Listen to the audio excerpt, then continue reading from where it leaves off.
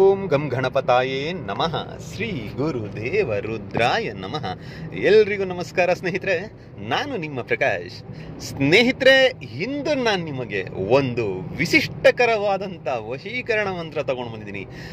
ಯಾರನ್ನ ನೀವು ತುಂಬ ಇಷ್ಟಪಡ್ತಾ ಇರ್ತೀರೋ, ಯಾರ ಪ್ರೀತಿಗೋಸ್ಕರ ಚಡಪಡಿಸ್ತಾ ಇರ್ತೀರೋ, ಅಂತಹವರಿಗೋಸ್ಕರ ಅಥವಾ ಯಾರು ನಿಮ್ಮ ಜೊತೆ ಇರ್ತೀನಿ ಅಂತ ಹೇಳಿ ನಿಮ್ಮನ್ನ ನಂಬಿಸಿ ಅರ್ಧದಲ್ಲೇ ಕೈಯನ್ನ ಬಿಟ್ಟು ಹೋಗಿದ್ರೆ, ಮಧ್ಯ ದಾರಿಯಲ್ಲೇ ನಿಮ್ಮನ್ನ ತೊರೆದು ಹೋಗಿದ್ರೆ, ನೀವು ಅವರಿಗೆ ಫೋನ್ ಮಾಡಿದ್ರೆ ಇರಿಟೇಟ್ ಅಂತ ಅನ್ಕೊಂಡು ಬ್ಲಾಕ್ ಲಿಸ್ಟ್ ಹಾಕಿಟ್ಟಿದ್ರೆ ಅಥವಾ ಯಾವುದೇ ಫೋನ್ ರೆಸ್ಪಾನ್ಸ್ ಮಾಡ್ತಾ ಇಲ್ಲ ಅಂದ್ರೆ, ಯಾವುದೇ ಮೆಸೇಜ್ ಮಾಡ್ತಾ ಇಲ್ಲ ಅಂದ್ರೆ, ಇದು ಒಂದು ಚಿಕ್ಕ ಕ್ರಿಯೆ ಮಾಡಿ ಸ್ನೇಹಿತರೆ ಸಾಕು. ಹುಚ್ಚರಂತೆ ನಿಮ್ಮನ್ನ ಹುಡಿಕೊಂಡು ಓಡೋಡಿ ಬರ್ತಾರೆ.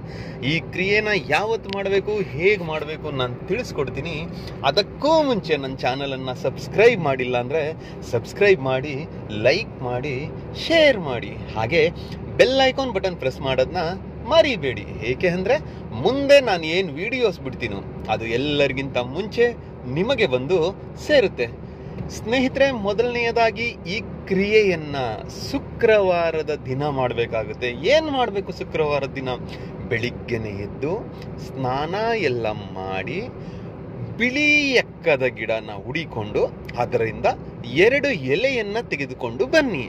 ಎರಡು ಎಲೆಯನ್ನ ತೆಗೆದುಕೊಂಡು ಬಂದು ಅದನ್ನ ಶುಭ್ರವಾಗಿ, ಅಂದ್ರೆ ಸ್ವಚ್ಛವಾಗಿ ನೀರಿನಿಂದ ತೊಳೆದು ಬಿಡಿ, ತೊಳೆದು ಅದನ್ನ ಬಟ್ಟೆಯಲ್ಲಿ ಒರೆಸ್ಕೊಳ್ಳಿ, ಒರೆಸ್ಕೊಂಡು ಉತ್ತರ ದಿಕ್ಕಿಗೆ ಮುಖ ಮಾಡಿ ಕುಳಿತುಕೊಳ್ಳಿ. ಅಂದ್ರೆ ಕೆಳಗಡೆ ಯಾವುದಾದ್ರೂ ಒಂದು ಆಸನ ಅಂದ್ರೆ ಬಟ್ಟೆ ಹಾಕೊಳ್ಳಿ. ಎಲ್ಲೋ ಅಥವಾ ಬಿಳಿಯ ಬಟ್ಟೆ ಹಾಕೊಂಡು ಕುಳಿತುಕೊಳ್ಳಿ. ಕುಳಿತುಕೊಂಡು ಆ ಎಕ್ಕದ ಗಿಡದ ಎಲೆಯ ಮೇಲೆ ಮೊದಲಿಗೆ ಸ್ವಸ್ತಿಕ್ ಚಿಹ್ನೆಯನ್ನು ಬರೆಯಿರಿ. ಎರಡೂ ಎಲೆಯ ಮೇಲೆ ಸ್ವಸ್ತಿಕ್ ಚಿಹ್ನೆ ಬರೆದು ಕೆಳಗಡೆ ನಿಮ್ಮ ಹೆಸರು ಪ್ಲಸ್ ಚಿಹ್ನೆ ಹಾಕಿ ಅವರ ಹೆಸರು. ಎರಡರಲ್ಲೂ ಬರೆದು ಎರಡನ್ನೂ ನಿಮ್ಮ ಬಲಗೈಯಲ್ಲಿ ಹಿಡಿದುಕೊಂಡು ಯಾರ ಪ್ರೀತಿಗೋಸ್ಕರ ಹಂಬಲಿಸ್ತಾ ಇದ್ದೀರೋ ಅಂಥವರನ್ನ ಮನಸ್ಸಿನಲ್ಲೇ ನೆನೆಸಿಕೊಳ್ತಾ ಅವರ ಕಣ್ಣಿನ ತುಂಬ, ನಿಮ್ಮ ಕಣ್ಣಿನ ತುಂಬ ಅವರ ಚಿತ್ತ ಇರಬೇಕು, ಅವರ ಭಾವ ಇರಬೇಕು, ಅವರ ಫೋಟೋ ಏನಾದರೂ ಇದ್ರೆ ಆ ಫೋಟೋವನ್ನು ನೋಡಿಕೊಳ್ತಾ ಇವಾಗ ಕೊಡೋ ಮಂತ್ರವನ್ನು ನೂರ ಎಂಟು ಸಾರಿ ಪಠನೆ ಮಾಡಿ, ನೂರ ಎಂಟು ಸಾರಿ ಪಠನೆ ಮಾಡಿ ಮುಗಿದ ಮೇಲೆ ಅರ್ಧ ಲೀಟರ್ ಅಥವಾ ಕಾಲ್ ಲೀಟರ್ ಹಾಲನ್ನು ತಂದು ಒಂದು ಗ್ಲಾಸಿನಲ್ಲೋ ಅಥವಾ ಒಂದು ಬಟ್ಟಲಿನಲ್ಲೋ ಇಟ್ಕೊಳ್ಳಿ ಇಟ್ಕೊಂಡು ಅದು ಮುಗಿದ ಮೇಲೆ ಅದನ್ನ ಆ ಬಟ್ಟಲಿನ ಒಳಗಡೆ ಇಟ್ಬಿಡಿ ಎಕ್ಕದ ಎಲೆಯನ್ನು.